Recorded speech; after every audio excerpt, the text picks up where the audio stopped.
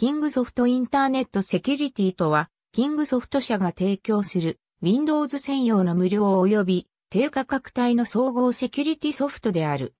本項では主にインターネットセキュリティスイート、 Kingsoft Internet Security 2015について解説する。なお、最新版は2019年にリリースされた Kingsoft Internet Security 20である。ウイルスパターンファイルをクラウド型サーバにて管理するクラウドウイルススキャンを特徴とする。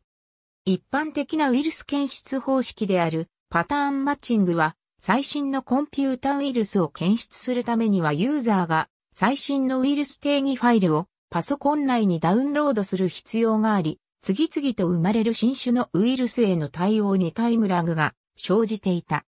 キングソフトの発表によるとこの技術によって95%の道ファイルの安全性を1分以内で解析するとしており、新種ウイルスへの対応が格段にスピードアップした。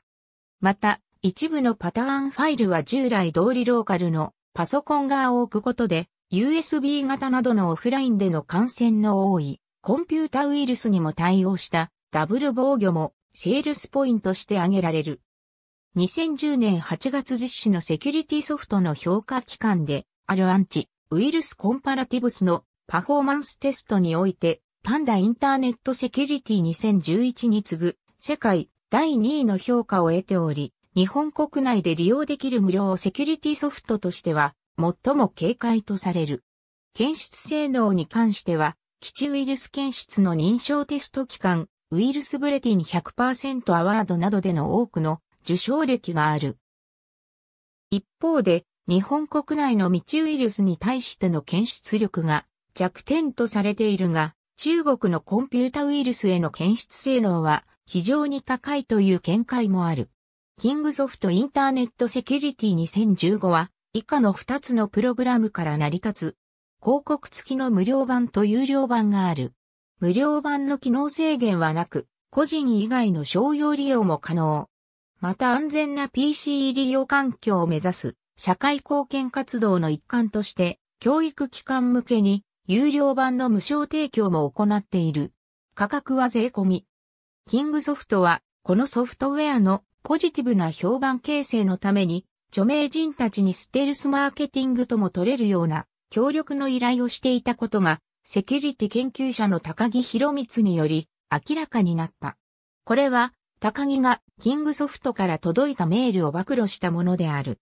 内容は、次期バージョンをリリースするタイミングで、ネット、ソーシャルでの良好な評判を形成したい、ポジティブな評判形成に協力してほしい、無料セキュリティソフトって良いよね、無料の中では、キングソフト良いよねといった論調にしていきたい。執筆料金も相談に応じるといったものであった。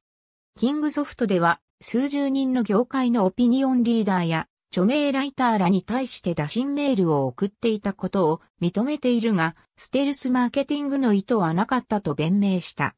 しかしネット上では騒動となり、ツイッターでは、キングソフト製品を褒めたたえるわざとらしいコメントが、お金ください、振り込み待ってますというハッシュタグ付きで多数ツイートされる騒ぎとなった。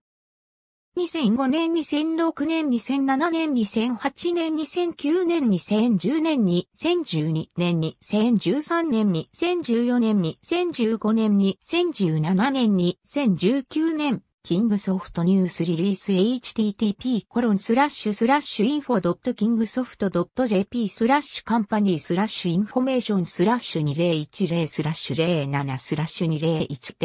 20100708ドット HTML ハットキングソフトステマ依頼を否定ありのまま執筆してもらう意図と釈明。キングソフト製品の Windows XP 対応についてキングソフト広告付き無償セキュリティ。 Kingsoft Internet Security 20を公開。ありがとうございます。